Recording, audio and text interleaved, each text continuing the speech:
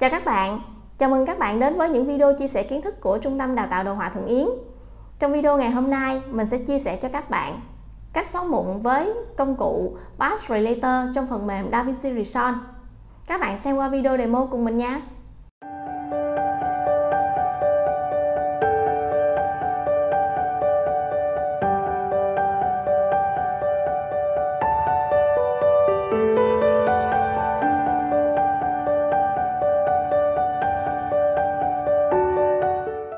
Bạn nào thích biên tập video và edit video trên phần mềm DaVinci Resolve thì các bạn đừng bỏ qua những video hướng dẫn của mình. Mình sẽ chia sẻ cho các bạn nhiều kiến thức thú vị về phần mềm DaVinci Resolve nhé. Chào các bạn, trong video ngày hôm nay mình sẽ chia sẻ cho các bạn cách để các bạn có thể xóa mụn trên phần mềm DaVinci Resolve bằng effect Path Relaser và các bạn có thể xem qua các kết quả của mình ha. Đây là trước khi các bạn chỉnh và đây là kết quả sau khi mình xóa mụn với ờ, effect Path releaser. Và bây giờ mình sẽ bắt đầu vào phần hướng dẫn. Ở đây mình có một cái file stock về ờ, mụn như thế này. Sau đó các bạn sẽ qua cái ờ, tab color giùm mình. Các bạn lít phải vào nốt đầu tiên, các bạn sẽ ép cho mình một nốt Seria ở đây các bạn sẽ vào cửa sổ effect, các bạn sẽ tìm cho mình effect là Path releaser. Các bạn kéo vào trong cái ờ, uh, nốt mình vừa tạo ra. Thì lúc này nó sẽ xuất hiện hai cái uh, vòng tròn. Ở đây các bạn để ý nè. Ở giữa hai vòng tròn này nó sẽ có một cái mũi tên. Các bạn sẽ để ý cái chiều mũi tên như thế này. Nó sẽ hiểu là nó sẽ lấy cái dữ liệu từ vòng tròn bên đây đắp qua vòng tròn bên đây. Tương tự như việc là các bạn dùng công cụ clone stem bên uh, Photoshop ở đây thì các bạn có thể thay đổi được cái hình dạng kích thước của nó bằng cách là các bạn có thể kéo chọn vô cái góc ở đây nè. Kéo chọn góc để các bạn zoom lớn nhỏ.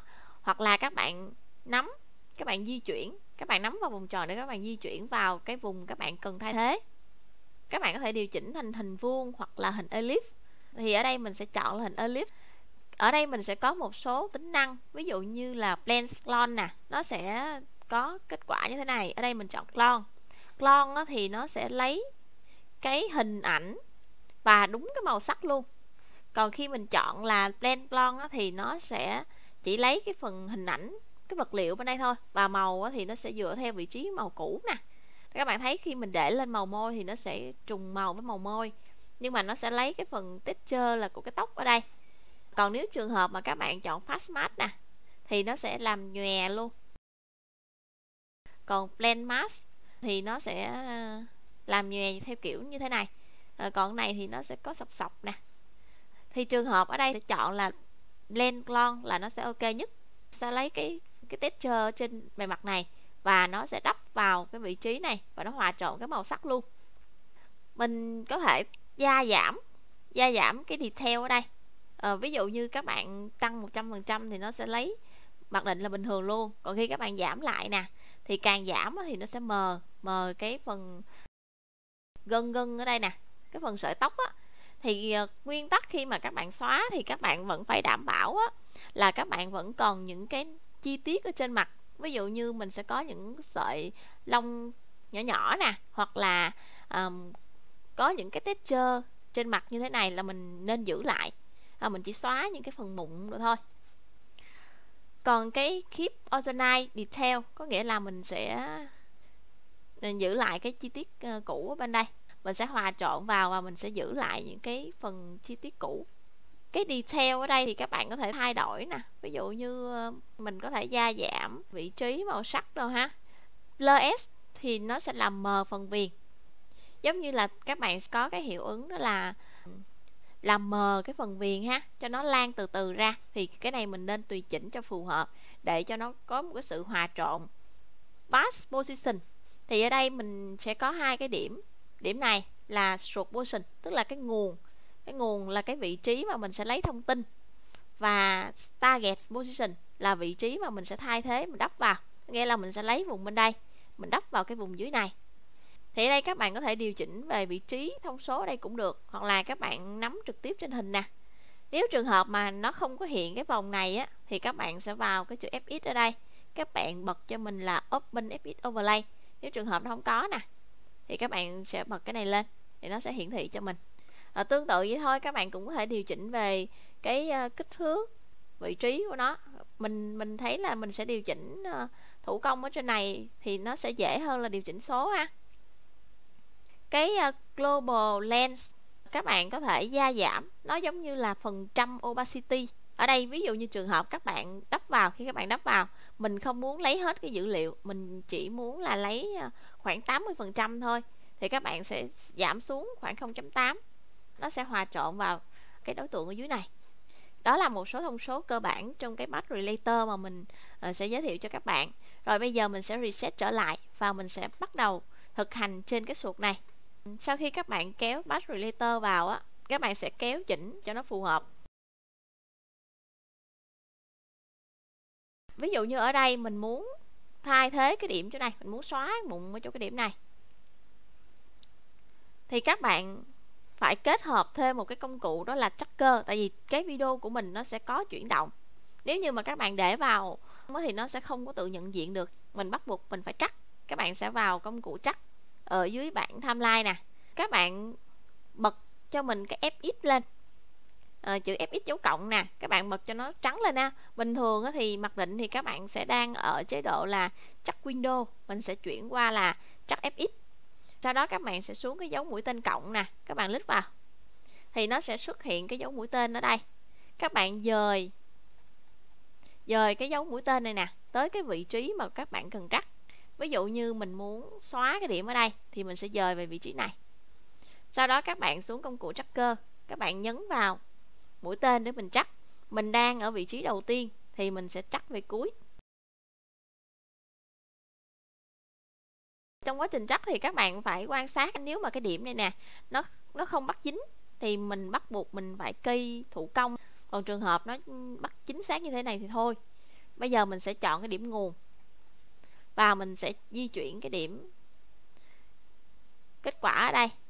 Mình nên cái điểm nguồn này nè cái điểm mà mình chọn để thay thế nè mình nên chọn ở những cái vùng lân cận để mà khi thay thế vào á, nó sẽ nhìn nó sẽ hợp lý hơn. Thì cái này tính chất nó sẽ giống như công cụ lon tem bên Photoshop ha. Sau khi các bạn thay thế xong thì các bạn tăng plus lên một chút. Các bạn chuyển cái này về off rồi các bạn thấy là mình đã xóa được một cái phần mụn rồi. Các bạn cần trên D nè, để xem trước chỉnh sau chỉnh. Thì tương tự vậy ha, mình sẽ xử lý tiếp những phần khác. Các bạn sẽ lít phải vào nốt thứ hai. Và các bạn ép cho mình là nốt ballet để các bạn tạo ra một cái nốt ballet ha. Tiếp tục mình sẽ đưa cái effect batch relator vào cái nốt mới tạo ha. Rồi các bạn sẽ làm tương tự, mình sẽ kéo nhỏ nó tạm thời thì các bạn không cần kéo vào đúng vị trí cái uh, cái phần mà mình cần xóa đâu. Các bạn cứ vào công cụ tracker trước. Sau khi đưa effect vào á thì các bạn vào công cụ tracker các bạn thêm một cái uh, điểm mà các bạn cần trắc nè. Ví dụ như mình xóa vị trí này. Rồi mình trắc ha ok sau đó thì các bạn uh, kéo chỉnh. Các bạn lưu ý nhớ cái chiều giống mũi tên nha cái mũi tên nó sẽ hướng như thế này, tức là cái phần bên đây nó sẽ đắp qua cái phần bên đây.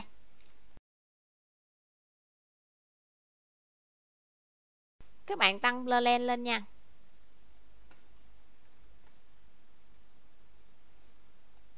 Ok. Tương tự như vậy, mình muốn xóa thêm thì mình sẽ tạo thêm một cái nốt ballet nữa.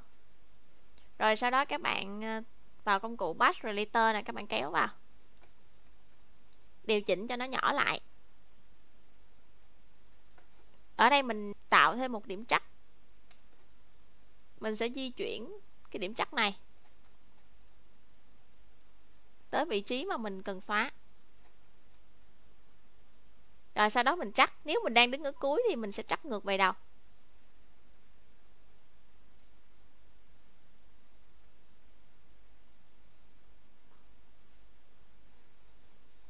Rồi sau đó thì các bạn sẽ di chuyển hai cái điểm này tới cái vị trí mà mình cần xóa cho nó phù hợp ha. Rồi các bạn nhớ là các bạn sẽ điều chỉnh cái uh, thông số Ls cho phù hợp.